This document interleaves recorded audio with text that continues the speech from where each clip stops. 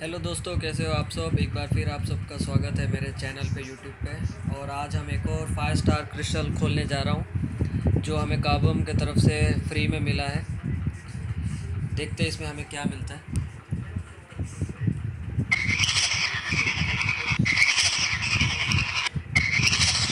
हमने क्रिस्टल घुमा दिया है और देखते हैं इस बार हमें क्या मिलता है।